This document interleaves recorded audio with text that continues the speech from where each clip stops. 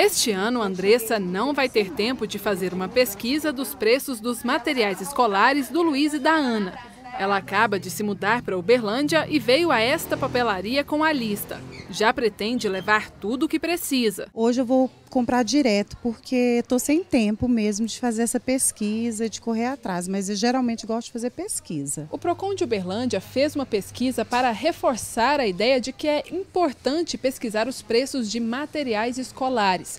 Os fiscais passaram por vários estabelecimentos espalhados pela cidade e constataram que a diferença nos preços é grande. Por exemplo, um conjunto como esse de 12 canetas esferográficas, em alguns lugares, sai a R$ 5,50. Já em outros, o preço chega a 25 reais. Uma variação de 450%. Outros itens também apresentaram diferença. O apontador de plástico, o menor preço fica em 35 centavos e o mais caro é R$ 3,99, variação de mais de 900%.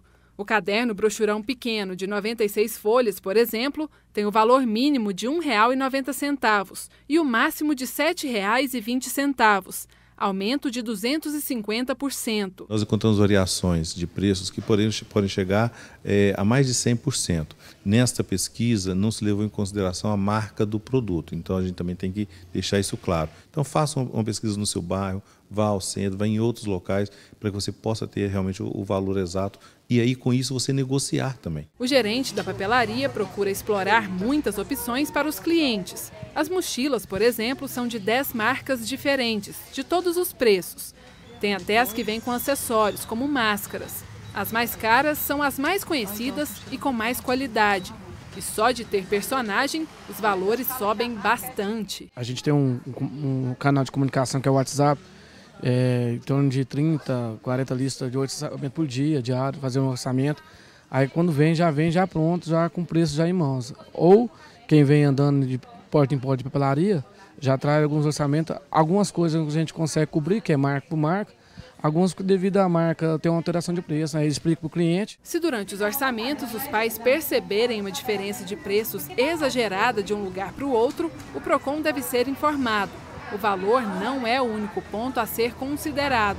A qualidade dos materiais e a segurança que eles oferecem para as crianças também deve ser observada. Seja atento também se o produto tem qualidade do ponto de vista de certificação do Imetro. Para você também, às vezes você vai comprar um produto e o barato sai caro, porque ele não está certificado, ele pode trazer um risco, seja a saúde ou a própria segurança.